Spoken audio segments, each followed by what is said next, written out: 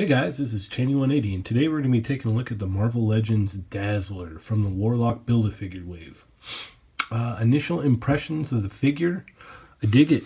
I actually like it quite a bit.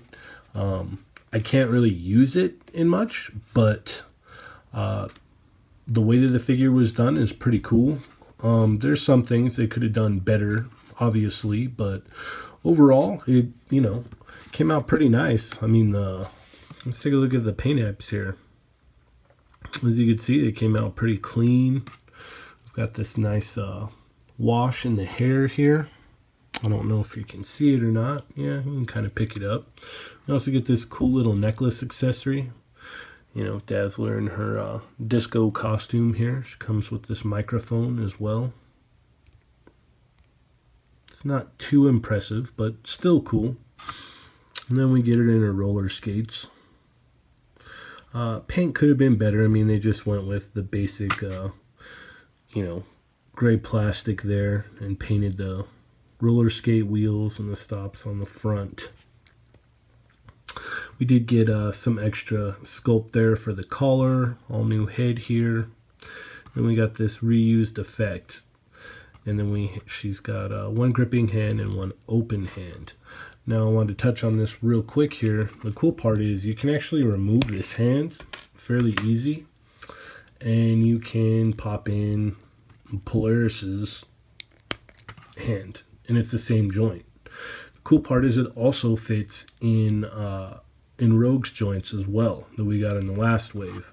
So that's pretty neat. I really dig that. But let's go ahead and get into the articulation here. And we'll go ahead and pop that off. So since she's got long hair, this hair doesn't seem, eh, it's kind of soft, but the head can go up about that high. Goes down well. Turns side to side fairly easy. The little necklace kind of jumps around, so you're going to have to adjust that. The arms go up that far. We don't get a bicep swivel. We get a swivel at the elbow, as always. We get a single hinge, swivel at the wrist, hinge at the wrist. We've got this torso here that allows us to go forward that far and back that far. The legs go out that far. And I think this is still the same uh, body as uh, Silk. If I'm, I could be wrong. If I'm wrong, let me know. But I think it's the same body as Silk. Legs go up that far we get a thigh swivel, double hinge knee, you get a ankle pivot there, and a pretty decent movement in hinge for, you know, having these uh, bell-bottom pants here.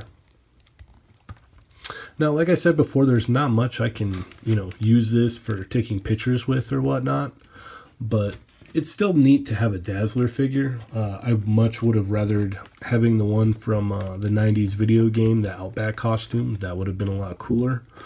But, however, you know, we got what we got, so it's all good. Not too bad.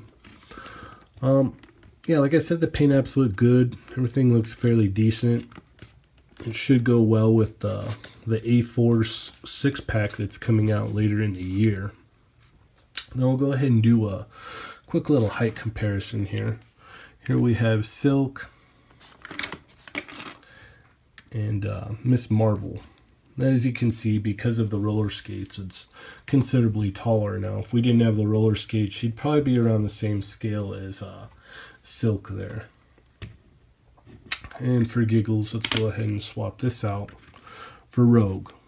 So as you can tell, it's you know, she's going to be taller because of the roller skates. But that about wraps it up for this review. Uh, thanks for watching.